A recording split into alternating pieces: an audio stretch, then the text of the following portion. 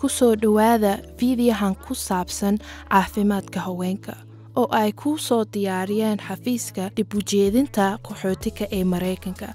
Ujeedaha muuqaalka waxay uu yahay inaad baratiin caafimaadkaaga iyo jirkaaga sidaad u xulin kartid waxyaabaha wanaagsan.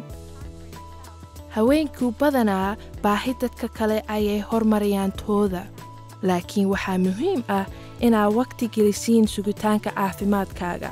Sababtoo ah haddii aadan caafimaad qabin sidaaba qoyskaaga iyo daryeeli kartaa ama skool ama shaquu aadi kartaa. Maraykanka door nooc oo xirfadyaal daryeelka caafimaadka ayay daaweyn karaan. Sida dakhtarka qalqaaliyaasha qalqaaliyaasha aqoonta dheeraadka leh umulisiinka iyo qalqaaliyaasha daktariinta fiidiyahan waxaan xirfadyaasha daryeelka caafimaadka oo dhan ugu yeeraynaa dakhtar fududaan dartiis. Qaxootigu badanaaba kuma helaan daryeel caafimaad oo joogto ah amana ka hortag ah waddankooda gudihiisa amana xorooyinka qaxootiga. Maraykanka daryeelka caafimaadka ah ka hortaga waa muhiim. Dakhtarka ayaan aadnaa ka hor intaanan xanuunsadin dakhtarku wuxuu naga tali karaa sida looga hortago dhibaatooyinka xagga caafimaadka. Uu wuxuu baaraa haddii dhibaato jirto si loo arko. Xitaa ka hor intaana wax ifaafala aan dareemin caafimaadka daraataa in la daaweeyo way fudud tahay haddii la arko goor horay. Waxaa intaan raacda haween badanaa qaxooti ah ma aysan helin waxbarasho caafimaadka. Waddankooda gudihiisa amana xorooyinka qaxootida waxaan ku faraxsannahay inaan helno dakhtarada krista johnson akbaku oo kabiir ku ah caafimaadka haweenka qaxootida ah. Oodin fahamsiini doonta qaar ka mid ah mawduucyada muhiimka ah. Hello. hallow magacaygu waa doktar johnson akbaku dakhtaradda u tababaran caafimaadka haweenka waxaa kale oo aan ahay agaasimaha caafimaadka haweenka qaxootiga ah ee arizona kuna daweeyey halkan bukaan badan oo qaxooti ah oo ay ku jiraan haween badan oo soomaali ah. Waxaa jira waxyaabo badan oo ku saabsan jirkeenna oo ay tahay inaannu ogaano.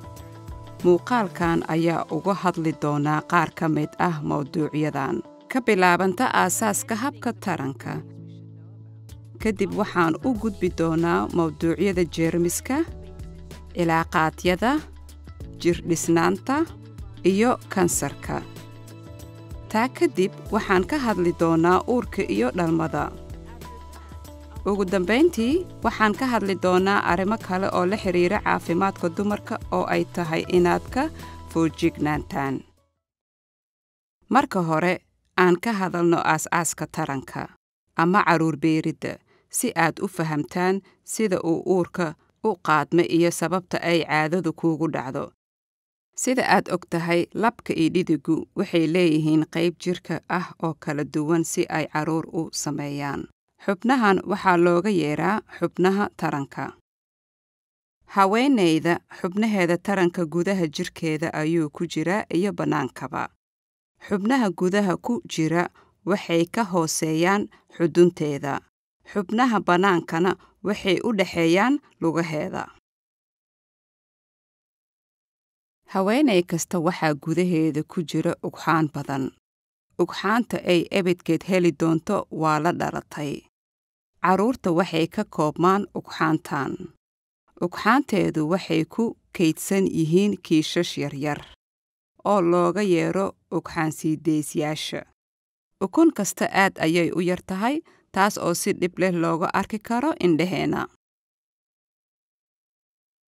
ilmaha wuxuu ku kobcaa cunug muruq ah oo looga yeedho ilmogaleen waxay ku dheggan tahay tubada dhumuc weyn oo soo aada bannaanka labada lugood dhexdooda la yidhaahdo vagina. Halkani waa meesha dhalanku ka soo baxo iyo caadaduna markaysan uur lahayn. Habka gabadhi ay isku beddesho naag waxaa la yidhaahdaa da' qangaar gabar kasta way ka duwan tahay tan kale laakiin isbeddelku badanaaba wuxuu bilowdaa da'du u dhexaysa siddeed jir ilaa iyo toban iyo saddex jir. Caadi ahaan isbeddelka ugu horeeyaa waa soo bixitaanka naasaha oo ay ku xigsato dhalashada timaha bisqinta. Tan badanaaba waxaa ku xigsata koritaanka degdegta ah oo miisaanka iyo dhirirka ah ugu dambayntii caadadii ayaa ku dhacda gabadha badanaaba da'da u dhexaysa siddeed jir ilaa iyo toban iyo lix jir. Hadda waxaan ka hadli doonaa caadada. Haweenay kasta waa gaar laakiin caadada labaatan iyo maalmood ayaa loo badan yahay. Aan dhahno maalinta koowaad ayay u bilaabataa haweenay kasta caadada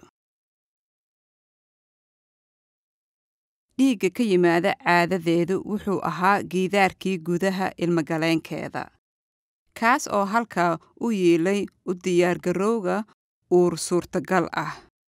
Ukun ayaa ka dilaacday ugxansiidaysteeda ku dhowaad laba isbuuc ka hor laakiin markii ay soo gaartay ilmagaleenka ukuntii ma bacramin marka kuma aysan dhegin giidaarka ku wareegsan ilmagaleenka. Sida awgeed giidaarka looma baahna waana ay soo dhacdaa. Waxaana ay dareentaa dhiig ka imaaday vagina inta uu giidaarka qubayo tani waa caadadii taas oo dhowr maalmood soconaysa. Dhiigga marka uu istaago kadib ilmagaleenku waxa uu bilaabaa inuu giidaar kala dhalo. Waqti xaadarkan jirkeedu wuxuu isku diyaarinayaa inuu ukun kale sii daayo. Ugxansiidayda dhowr harmoon oo maskaxda ka imaanaya waxaana soo dhaca waxa xukuma ugxansiideeyaasha toban iyo afar cisho kadib ukuntii way kortaa wayna ka soo baxdaa xubintii.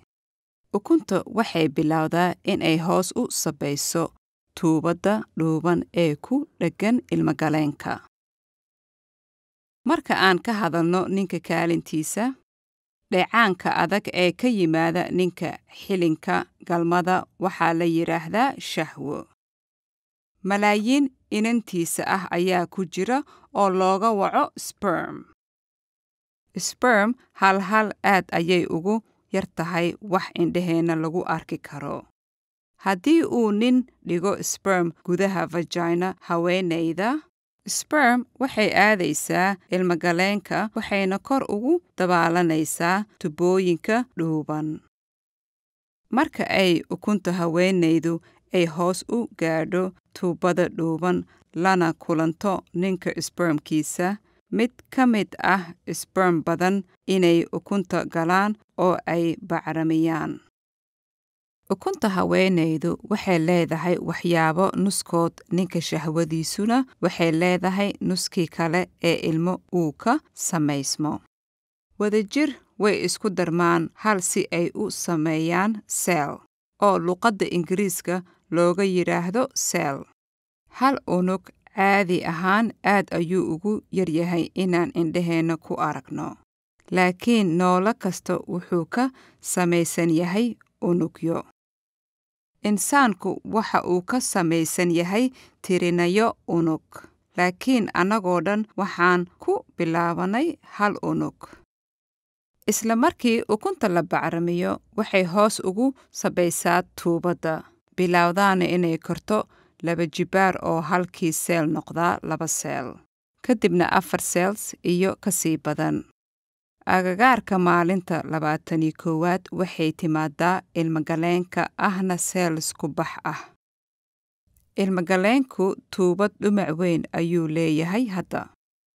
Haddii ay kubadda seels ay ku dhegto gidaarka gidaarka ayaa nafaqayn doona mana soo dhici doonto. Sidaa caado ma imaan doonto taasi badanaa waa haweenayda tilmaamta ugu horaysa in laga yaabo inay uur leedahay. Kubadda seels ah ayaa kori karta oo noqon karta ilmo. Hase ahaatee haddii aan ukunta la bacramin giidaarka ilmagaleenka ayaa soo dhici doona ku dhowaan maalinta labaatan iyo siddeedaad. Haweenayda caadadii ayaa ku dhacda dhiigga caadaduna dib ayuu u bilowdaa caafimaadka haweenka waxay muhiim u tahay naftooda caafimaadkooga inay ogaadaan ay la socdaan isbitaalka